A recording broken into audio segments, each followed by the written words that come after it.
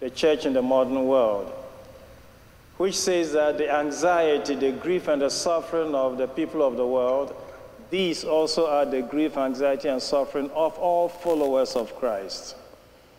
And Pope Francis would say, and not only followers of Christ, but of all people. So, in order to bring the timeless truth of the gospel, our faith and tradition then seek to translate this into public space and into society. The first formal example of this was the encyclical of Pope Leo XIII in 1891, Rerum Novarum. This basically coincided with the Industrial Revolution. At a time when industrial economy was only a century old and posed many dilemmas and problems for workers and their families, Pope Leo XIII sought to respond to the very many new challenges and experiences of society with, again, a reflection from the point of view of the gospel faith. The most recent instance of doing this is what we gathered this tonight to consider the publication of Laudato Si by Pope Francis uh, this past June uh, in the Vatican. And again, Pope Francis is responding to the new developments in society by shedding the light of faith on the new experiences that we're facing. So, to give this lecture is an example of what our department in the Roman Curia in Rome seeks to assist Pope Francis with. At the same time, as uh, Professor Wall said, I'm invited here to St. Thomas Villanova, and by the fact that this is taking place within a church, and not in some auditorium and all, to also offer a Lenten reflection. This is a moment then of spiritual deepening on our pilgrimage during the Jubilee year of mercy and in this period of Lent, towards then the passion, death, and resurrection of Christ. And so I'm also delighted with the title that you have chosen Care of Creation as a Work of Mercy. It really helps us to explore a most relevant theme, and that is how to live our faith in the world in such a way that it corresponds to God's design for creation and for the life of the of uh, human family. So here essentially are five points which I would like to uh, you know, uh, take up tonight briefly. And it is about this, you know, so what is creation? And what is care of creation, which the Holy Father invites us to exercise? And for the purposes of this evening, what is mercy? And the declaration of Jubilee Year of Mercy by Pope Francis. This I'll certainly not go into details with because I, I, I leave that to your pastors and your parish priests to be able to, to present why we celebrating a year, Jubilee Year of Mercy in the church. That is something that should be happening in every parish.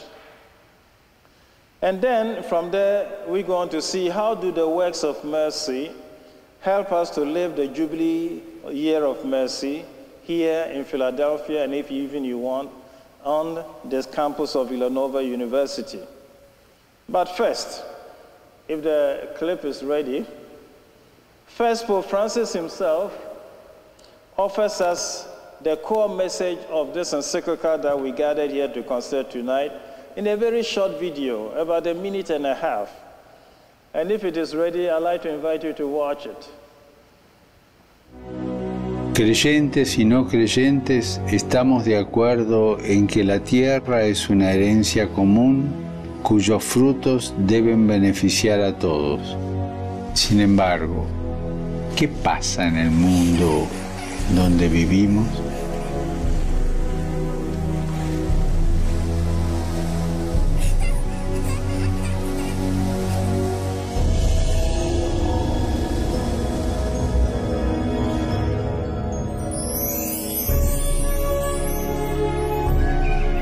La relación entre la pobreza y la fragilidad del planeta requiere otro modo de ejercer la economía y el progreso concibiendo un nuevo estilo de vida. Porque necesitamos una conversión que nos una a todos. Liberarnos de la esclavitud del consumismo. Y este mes te hago una petición especial que cuidemos de la creación recibida como un don que hay que cultivar y proteger para las generaciones futuras. Cuidar la casa común.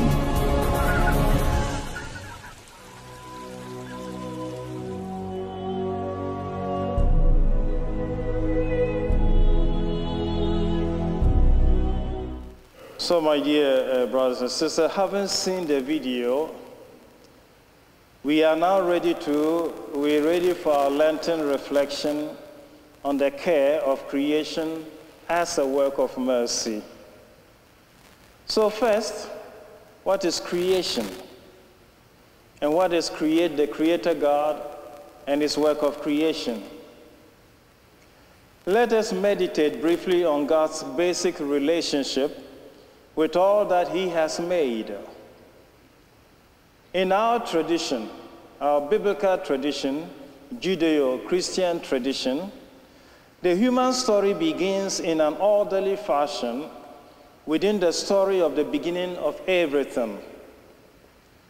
An orderly, as orderly as the days of the week, God creates nature, inanimate, and then animate beings in the first five days and then humanity on the 60th day. So, if you want, we asking then about God's design for everything that He designed and wanted to create. Human story then is not part, is not apart from the rest of nature. Humanity and nature are integrated. And as the video we just saw showed, our nature is created by God and surrounded by the gifts of creation. An account of this, Pope Benedict is used to saying that the book of nature is one. We're not dealing with two things, elements created by God, here the human family and nature, but it is one book, inseparable, interdependent, and interrelated. So the biblical narrative then teaches us that human life is grounded in three fundamental and closely related and intertwined relationships with God, with our neighbor, and with the earth. When one of these relationships is broken, the other two are also broken. And our insertion in the universe is no longer integral nor harmonious. It is fractured and it becomes partial. In the second chapter, then, of Laudato Si, Pope Francis articulates the tremendous responsibility of humankind for creation. And this natural environment is a collective good, the patrimony of all of humanity, and the responsibility of everyone. And so, this collective good and this responsibility of all underpin the insistent message about the moral dimension of how we treat nature and the rest of creation. For creation is the order of love.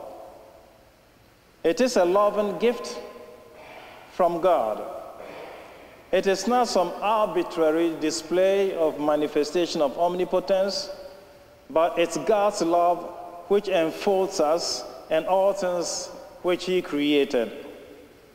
So, creation essentially is a gift of God to humanity. And human life draws from creation and is related to it. Our bodies are drawn from the earth, they're sustained by the products of the earth. The air we breathe is part of what God has created. And When we do die, we do return to what God has created. Of course, for us Christians, we know that the resurrection of Jesus has transformed us. In the account of creation, everything that God created, the drama of creation ended with dust you are, and unto dust you shall return. Till Jesus comes and takes up this dust, takes it into death, and raises it up from the dead and transforms the destiny of this death. So that after Jesus and his resurrection, the story is no more dust you are, and unto dust you shall return, but it is dust we are, and in the resurrection of Jesus, we shall be raised into glory. So, for us, then, as it were, the reading of the Old Testament doesn't find its complete meaning until we bring it to the New Testament and to what Jesus does to everything that exists in the Old Testament. But I will not go into that tonight. We need to make time for you to ask a lot of questions at the end, so I'll be very brief. And I'll try to, I'll try to control my asides because that's, that's, that's my weakness. So, my dear friends, the biblical narrative then tells us that human life is grounded in three relationships which we've talked about. The natural environment then is a collective good, the patrimony of humanity and the responsibility of every one of us. This collective good and this responsibility of all underpin the insistent message about the moral dimension of how we treat nature and the rest of creation. But the relationship with nature does not stand alone. It is intertwined with the other two dimensions. In the Bible, God who liberates and saves is the same God who created the universe. And these two divine ways of acting are intimately and inseparably connected. The story of creation is central for reflecting on the relationship between the human beings and other creatures. And that story is not static. The story of creation continues today, and our human engagement in it has failed to cooperate with God's design.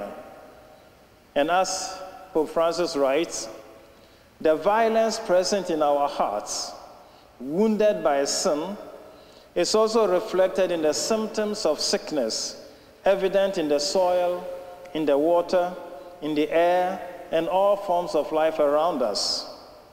This is why the earth herself, burdened and laid waste, is among the most abandoned and maltreated of all poor elements on the earth. So the earth is groaning, is groaning on account of the sins of men or the sins of humanity, as the prophet Isaiah would write. And so, again, as the video showed, we overconsume and we do not share the gifts of creation. We have tilled much and we have kept very little. At creation, God entrusted the earth to us and He said, Till and keep it. We have overtilled and we have kept very little. And the earth now begins to groan, according to Pope Francis. So, this being the situation, Pope Francis began his ministry by describing two fragilities. One fragility was the present state of the earth, present state of the creation, which, suffering from abusive treatment and exploitation, all of that is, according to Pope Francis, very fragile, very poor, and crying to us to be heard. So in the encyclical, he says that the earth, our sister and our mother, is crying to us. The second fragility is the excluded among, you know, among, among us. So among, he excluded among you know, the class of, uh, of, uh, of uh, the human family. The very many who live on the periphery, the poor ones, the excluded, and those who live on the fringes of society and the poor ones. So these two fragilities occupy the mind of Pope Francis, and they will be, as it were, the underlying trust and basis for this encyclical.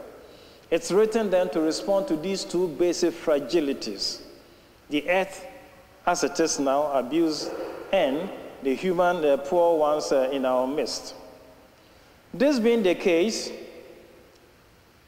what and what is the form that our care for creation can take? At the first mass of his uh, enthronement as, uh, as, as Pope, Pope Francis celebrated the Mass of St. Joseph. And then, from reflecting on the role of Joseph in the Holy Family, the Holy Father, Pope Francis, went on to say that may God help all of us to assume the role of Joseph, being protectors and stewards of creation and everything that God has entrusted into our hands. So, as it were, making Joseph a model for us in our care, in our, in our uh, stewardship, if you want, and care of everything God has created. So, we often told to be good stewards of creation. But a major surprise in this encyclical is that Pope Francis talks about stewardship only twice. Everything in this encyclical, eh, the relationship between human beings and the earth, is all expressed in terms of care. Care for creation, care for everything that what God has made. Clearly, when one cares for something, he does with, with more passion, with more commitment, and with his whole heart and soul. Stewardship expresses our responsibility towards the earth, but it can also be done dispassionately. And so Pope Francis preferred the expression care instead of stewardship. so good stewards take responsibility and fulfill the obligations to manage and to render an account. Yet the term appears only twice. For one can be a good steward without feeling connected and beyond jobs and accountability, care is a more intimate, an expression of more intimate relationship. It comes up dozens of times, for if one cares, then one is truly connected, and to care is to allow oneself to be affected by the other. In a, in a way, then, preparing to what we shall be talking about as mercy, it's a way that we gradually learn to share the suffering of the other. Good parents know this very well. You care about your children and you care for your children, so much so that parents will sacrifice enormously, even their own lives, to ensure the safety and the flourishing of their children. As our own parents did for us, with caring, the hard line between self and the other softens and even fades away. It blurs even and sometimes even completely disappears. St. Francis of Assisi is our model in this regard. He integrated the human and the natural, creation and the spirit together. And so, Pope Francis proposes that we think about our relationship with the world and with all people in terms of caring. And so, he illustrates this with the example of Jesus and the parable of the Good Samaritan as an instance of this. Therefore, having explored creation and the sense of caring, as the Pope invites us to do in response to his identification of the two fragilities, he would invite us to develop a real sense of tenderness, to be able to listen to the cry of the fragile elements in our world. So, fragility on the part of Francis corresponds to tenderness of heart on the part of all of us.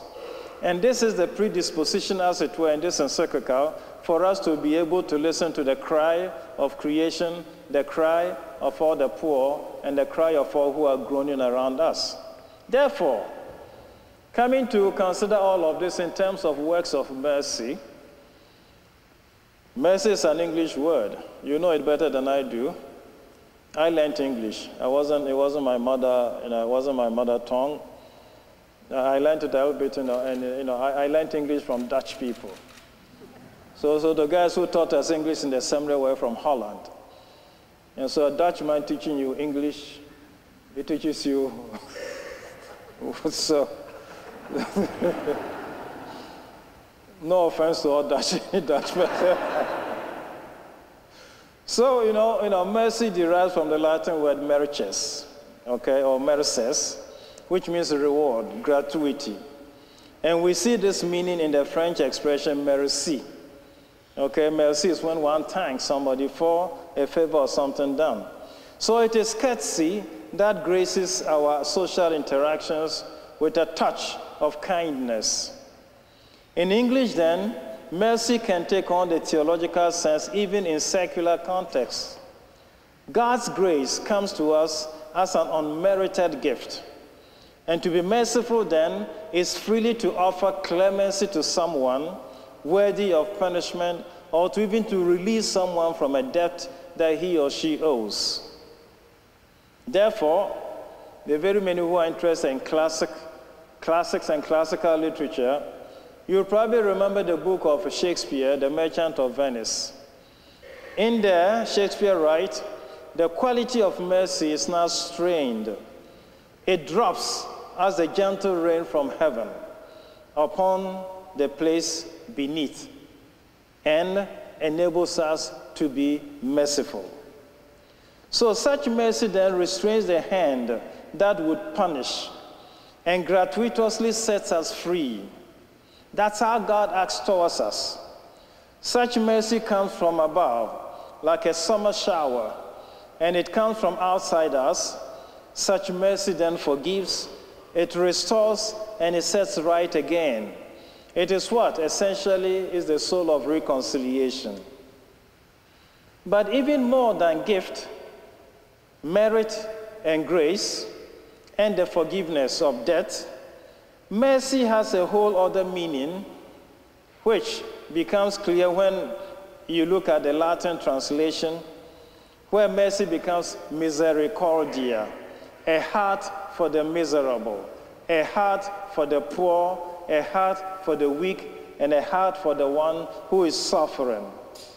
So the Latin word for compassion, or literally having a heart for those who are miserable, poor, and in need, is what inspires our reflection. Here we speak then of an emotional state of entering into someone else's plight, entering into someone else's burden, and being able to share the pain of another. In the parable of the prodigal son, we see this. When the father welcomed the son, who went and dissipated his wealth and then came back, it was the father sharing uh, the state of the son. And so it is. And the contrast is the attitude of the father and the attitude of the eldest son.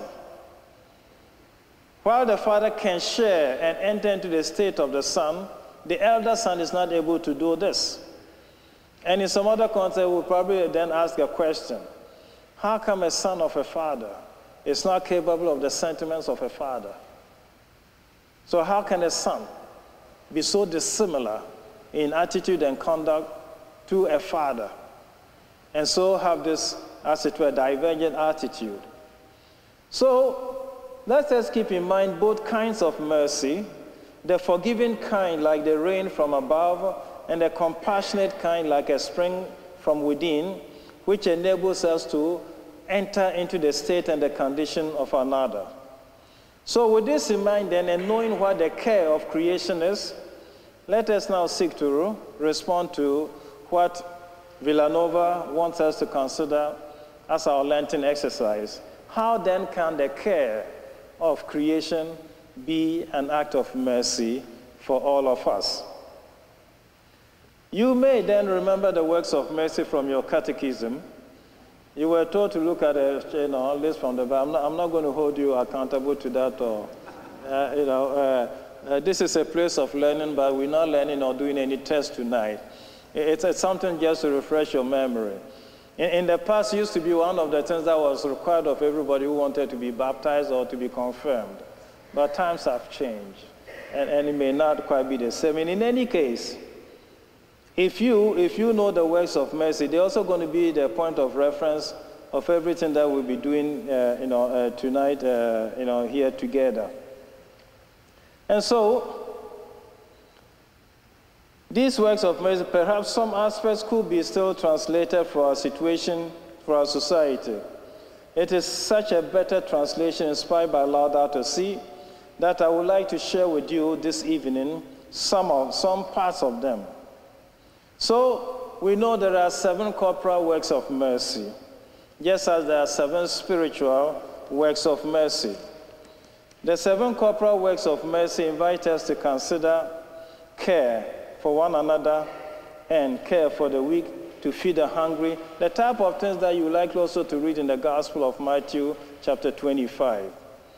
And then there's the spiritual works of mercy, which also comes up and invites us to be considered. When you consider all of those works of mercy, they invite us to be able to enter into the situation of the other. And wanting to reflect all of this as an instance of you know, uh, uh, works of uh, mercy, there is one expression which enables us to do this very, very, very effectively. And it is the expression of solidarity. Solidarity is an expression which Pope John Paul II made very popular. But solidarity is something that, having made, uh, having, having made it popular, he then go on to say, it is just not a vague feeling of, of, of, uh, of uh, you know, uh, a vague feeling of compassion, but a firm and a persevering determination to commit oneself to the common good of the other. If we take this to be the sense of solidarity, not simply a vague you know, feeling of compassion, but a persevering commitment for, to realize the well being of the other person. Then, in this case, solidarity would, would invite us then to commit to the realization of the well being of the planet Earth, creation, then, and of everybody else who lives on this planet. It becomes an obligation on, on the part of all of us.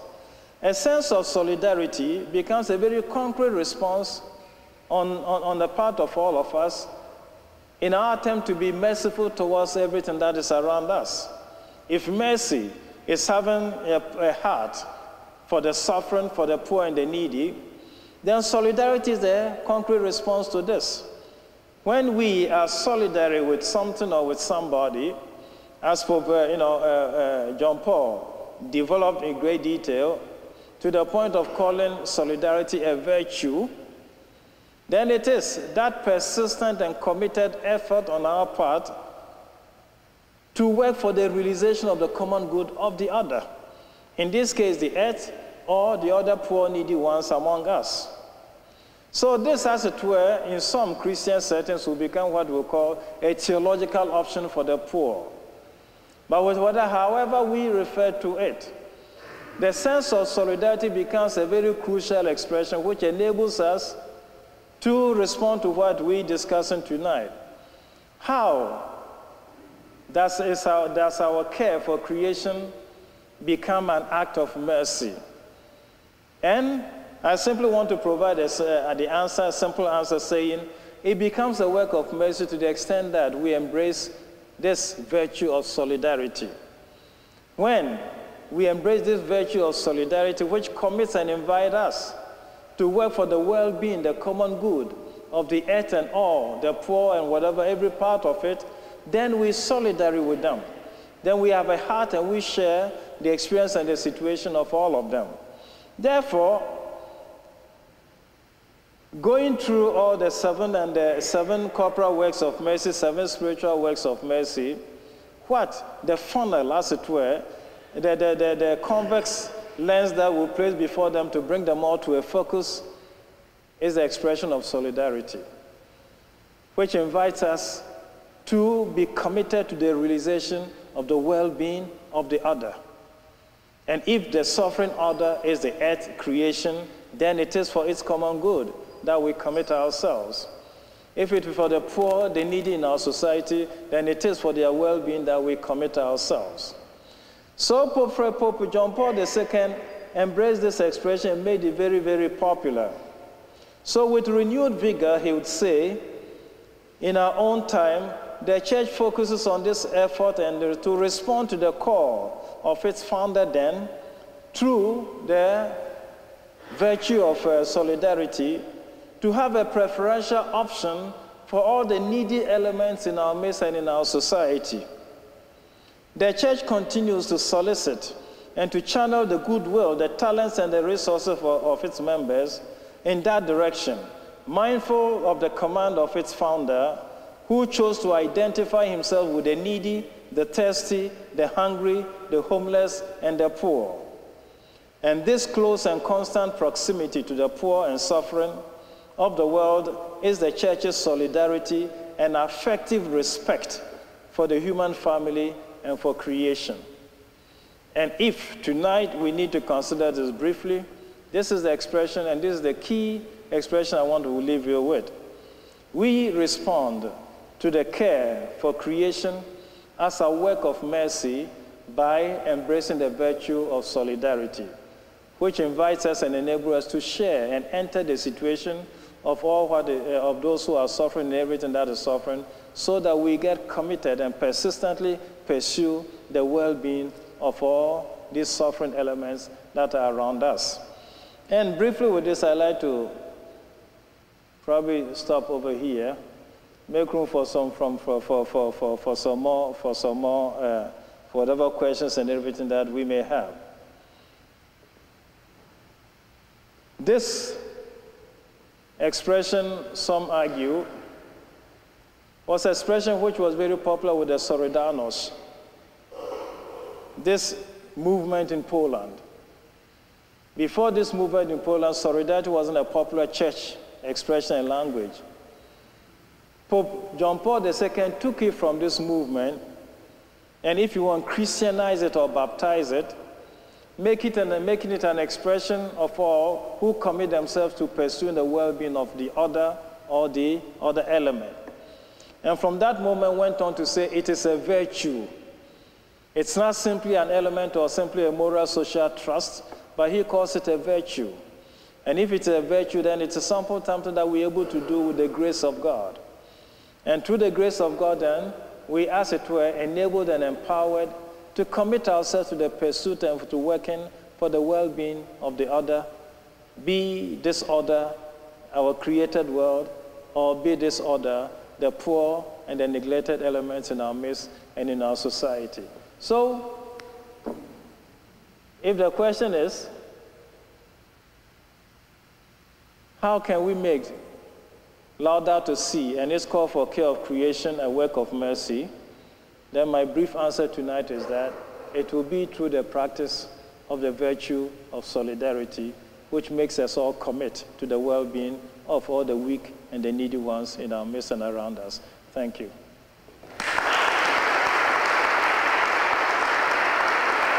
If people wanted to ask a question, maybe then I'll bring the microphone to you if you raise your hand. Uh, does the Pope see an economic model in that combination with that for the better distribution of water, but it seems that he wants everybody to have completely free access to water. The Pope does, and okay, the Pope does, and we pursue that. We, we, we've developed a small study of that, okay, the right and, you know, access to water. In all the UN documents, the talk is about access to water we think that we should probably start talking about right to water, okay, which will change the whole discourse. Okay, the whole talk and, you know, about water, access to water is just, you know, make it available you know, for people.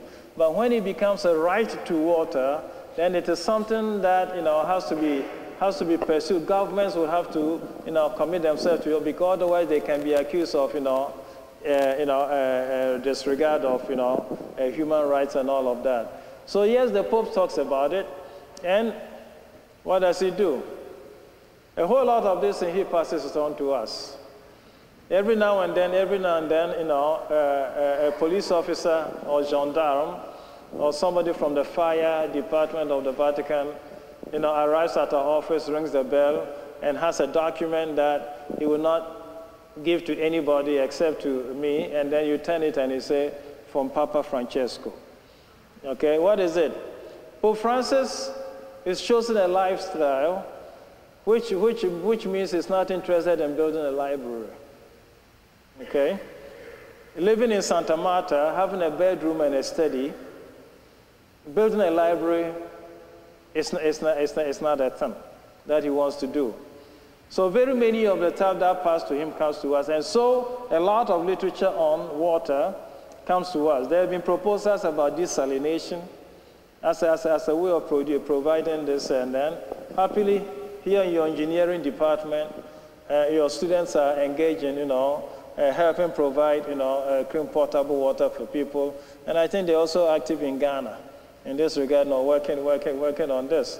This. This is crucial. So crucial that we, from our office, from a small study we're able to do, sometimes talk about the fact that the, less, the next world war may well be provoked by water and access to water. Because it's the one thing that we're running gradual and short supply of. But it's also the one thing that we cannot. Next to air is the one thing that we, can, we cannot live you know, uh, without. So it, it, is, it, it, is, it, is, it is a, it's a very serious thing. Okay, and that's, that's my jealousy for, you know, for those in the Northern Hemisphere because wherever you have snow, you have water. So if you live in a land where it snows, you don't worry about water. You have it. If you live in a is so, where the sun is all of that. So, so there's that thing. So the water issue is very crucial. There's a talk about a layer of water under the Sahara which at one point was being studied, uh, you know, uh, seriously studied so it could solve the problem of the Sahara. But then everything, everything, you know, these days becomes, you know, ex, ex, you know, developing that or bringing that water is a question of, you know, technology and therefore finance. And when there's no profit to gain, stuff like that doesn't easily get done. Okay, unless again it becomes a big humanitarian, you know, gesture act. But it's something that you know, the Holy Father thinks about.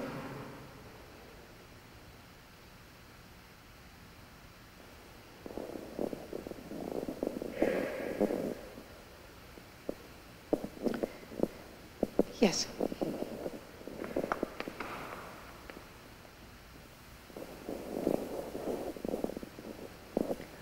You spoke about uh, the cultivating this care rather than stewardship and just talking about how that um, really shows that somebody has a dedication and a passion um, for the care of creation. And I was just wondering if you could sort of speak to how you sort of got involved in um, this just spiritual connection to creation, if you had any um, advice for all of us here about how we can sort of cultivate that in ourselves.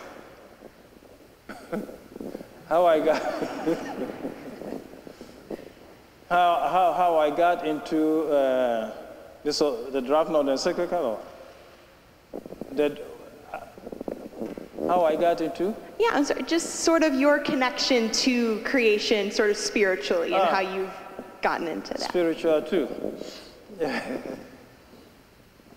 no, it is, it, it is this. I grew up in a mining town. I grew up in a manganese mining town.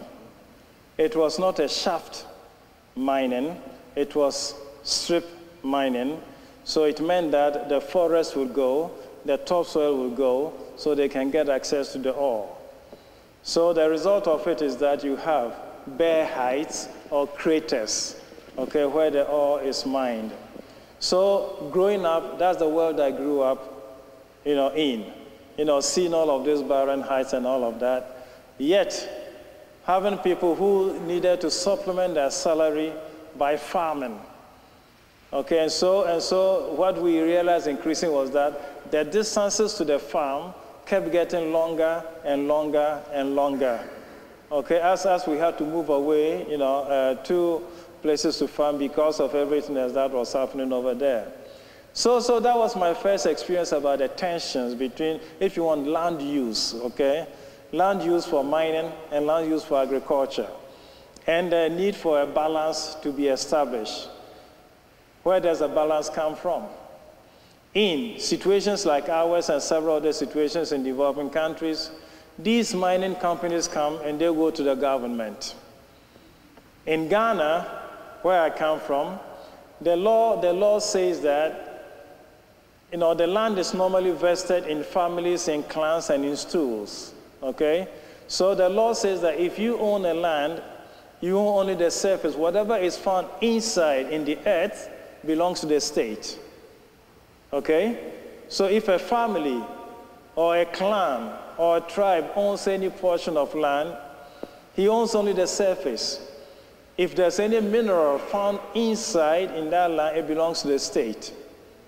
So you can be sitting on your land when a state or the government signs a document for somebody to come and prospect or look for minerals or whatever on your land, sometime without your consent. This is going to develop a lot of fights, okay, uh, you know, in, in our communities, and we're trying to work on that.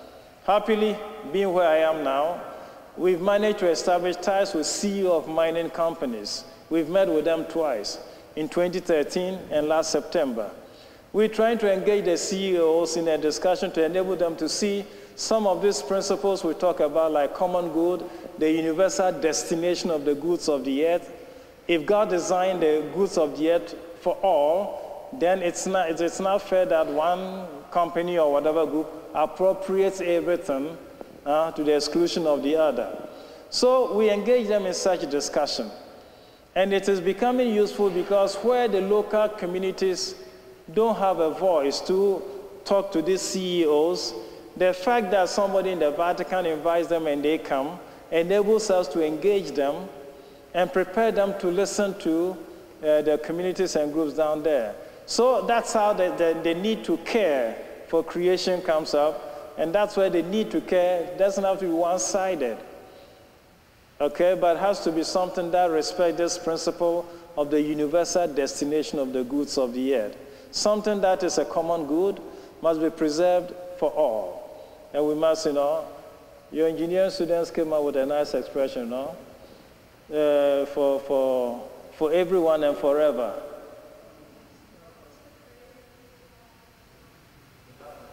Enough for all and for, uh, you know, enough for everyone and forever. So that is their way of expressing sustainability, okay? That, that, that's a, so I, I already, you know, registered, you know, to be admitted to that course. That's why I already know what they talk about. So yeah, go ahead. He wants to come back and study engineering here.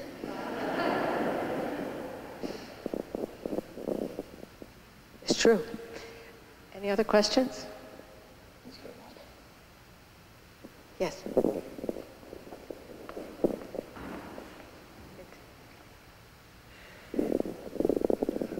I, I, speak out of a concern for population control. Uh, you made reference eloquently to uh, Isaiah.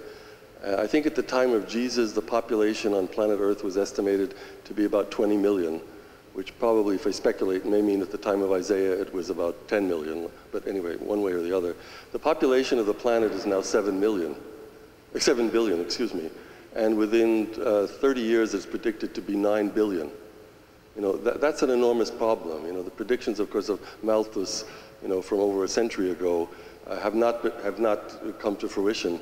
But, uh, but the question becomes, how much of a population can the Earth stand? You know, it certainly has withstood much more than people ever thought was possible.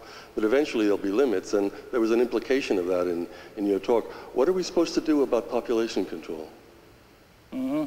So basically the question is, uh, what, uh, what is the volume of population that the earth or the goods of the earth can you know, support and sustain at, you know, at, at one point. Okay, and as again, this is a university, as you know, the Malthusian principle that relates population growth with development is something that has come under a lot of pressure and a lot of you know, question. President, you know, I, I give to, I, will answer briefly, you know, two ways, a very brief one and probably in a longer one. In 2010, I led a delegation to the United Nations to discuss the Millennium Development Goals. And my point was that the way of dealing with poverty is not to eliminate the poor, but to invest in the resourcefulness of the poor. And something similar has to do with, again, the argument has been advanced before that the population of the earth is increasing. Is the earth capable of supporting this you know, uncontrolled growth of population on the face of the earth? Well, from what we see now, from what we see now, if the resources available to humanity now was equitably distributed, there will be no poor one in our midst. So the earth is capable of sustaining and supporting all the population we have. just that there's inequality and inequity in the distribution of the resources of the earth. Just at the last uh, World, the World Economic Forum in Davos, just past January, Oxfam published its report again. Last year it did. Last year he said that the, the, the wealth of, uh, you know, the, the world's wealth is concentrated in the hands of, you know, 2%, okay, of, of, of, the, of, the, of, of people. This year, it went to 1%. Now, if, if, if, if, if, if, if 90% of the wealth of the world is concentrated in the hands of 1% of us on earth, then if that 1% kind of made, if you want, the net that it holds bigger, for a lot of things to flow out, then there will be, there will be less need on the face of the earth. So it's a question whose answer requires a certain amount of change of attitude, lifestyle, or if you want, even change of morale. In the sense that, you know, this is a law of nature. Any accumulation of any element at one part creates scarcity on the other part. And that's what we experience in our world now. There is an accumulation of the resources of the earth in one part or one region of the earth, creating therefore the need and the deficiency in other parts of the earth.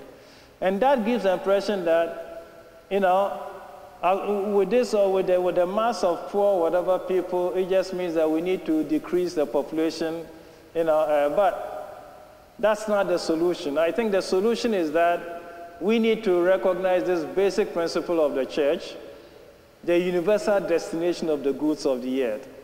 The goods of the earth were meant for all. It wasn't meant for a few. And if by business, you know, whatever thing people get, you know, whatever type of thing, you know, a certain, a certain amount of, you know, the Germans will say, no, no, we don't speak a certain, a certain amount of uh, feeling, you know, uh, compassion for, for the other should, should, should allow people to share a little bit. The concentration of wealth in the hands of few is one of our biggest problems. So, yes, I've heard people you know, address the same question by saying, therefore, control birth, control population growth. So introduce birth controls and contraception and all of those so that you know, population is controlled and so the resources of the earth can better you know, uh, serve the needs of humanity. We can control population all we want, but if this attitude of accumulating wealth by few does not change, we will never. We will always have the, you know, the, the state of poor ones, despite the fact that we control and control and control population. So what has to change is people recognizing that the goods of the earth were meant for all. We here in the United States, uh, and you probably know a story from close by here. Some of you may probably been from Boston or may have lived in Boston before. You know the story of the Boston Commons. You've heard that before?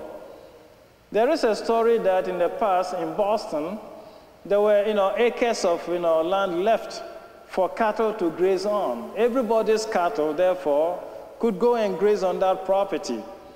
Till some, knowing that, began to increase their ownership of cattle to the extent that they, you know, the thing didn't, was not enough then for everybody.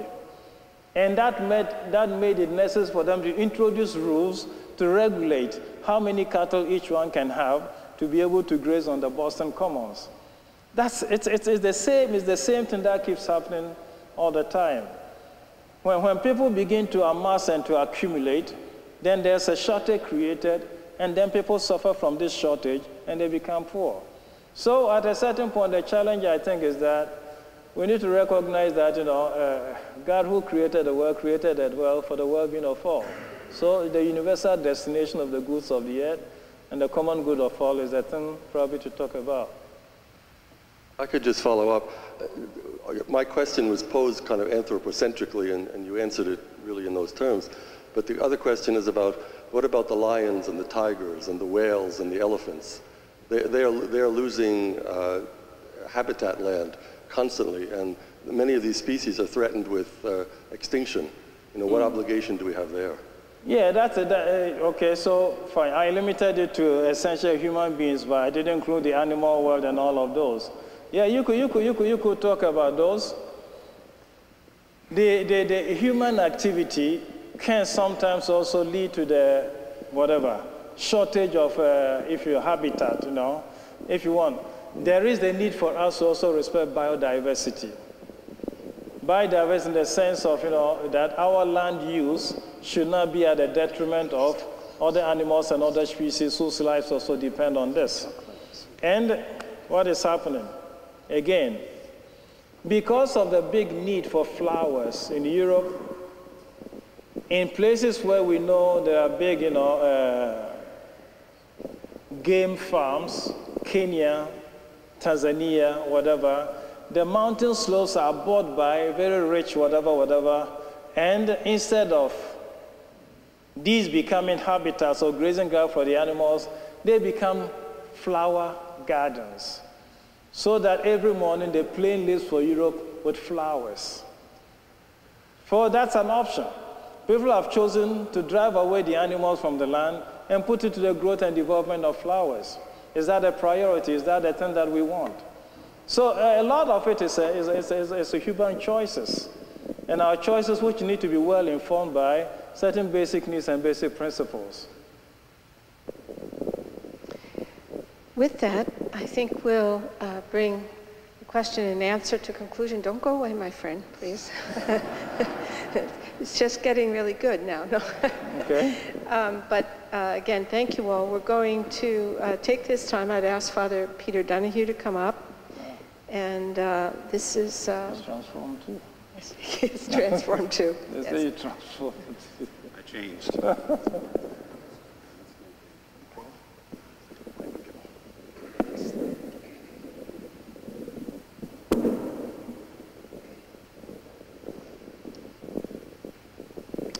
His Eminence, Cardinal Peter Turkson, was born on October 11, 1948, in western region of Ghana, Africa. He was ordained to the priesthood in 1975 in the Cathedral of St. Francis de Sales in Cape Coast, Ghana. 18 years later, in 1993, in the same cathedral, he was ordained and installed as the Archbishop of Cape Coast. Ten short years afterwards, on September 28, 2003, Pope John Paul II named him to the Sacred College of Cardinals. As the Archbishop of Cape Coast, His Eminence was president of the Ghana Catholic Bishops' Conference, the chancellor of a Catholic University of Ghana, and appointed a member of several institutions at the Roman Curia. Throughout his years as an archbishop and as a cardinal, he has received numerous honors and awards, including honor- honorary degrees from several other universities. We are not the first. he is the recipient of the Order of Star, national honor of the Republic of Ghana, and the Order of Rock from the traditional area of central Ghana. In March of 2011, Cardinal Turkson visited Villanova University as a participant in the Conference on Catholic Social Thought and Global Poverty, which was sponsored by the Office of Mission and Ministry. Then, as now, he has been a constant voice for social and integral human development to the poor. To quote Cardinal Turkson, the just person is the one who, therefore, preserves communion with God, with neighbor, and with the land, and by so doing also makes peace. For your faithful service to the Roman Catholic Church in Ghana and to the World Church, for your extraordinary commitment to the work for the interfaith dialogue, and for your constant prophetic voice for all the world's poor and the preservation of all God's creature. I, in the name of the Board of Trustees and faculty of Villanova University, confer upon you, Cardinal Peter Turkson, the degree of Doctor of Humane Letters, honoris causa.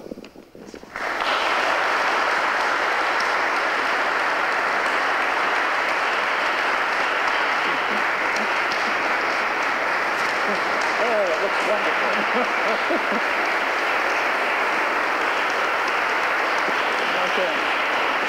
Thank you.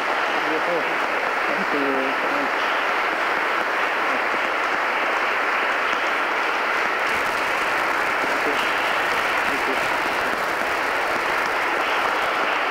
Thank you.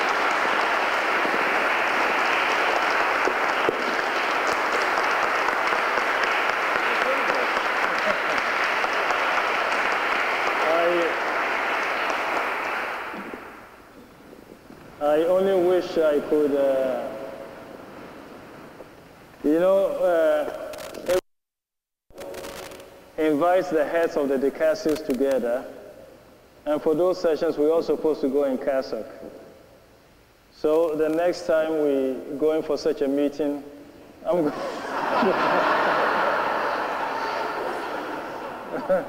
I think I think I'll throw this on and then say, I said, I said the University of Villanova asked, asked me to bring this to him for, for the production of the encyclical Laudato Si, and then see what his reaction would be.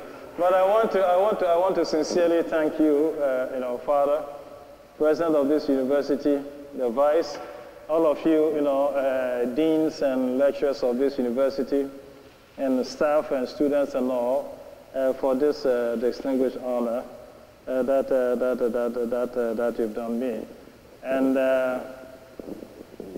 when, when, when, when I get some chance to do sabbatical, I'll come and register to do some courses over here.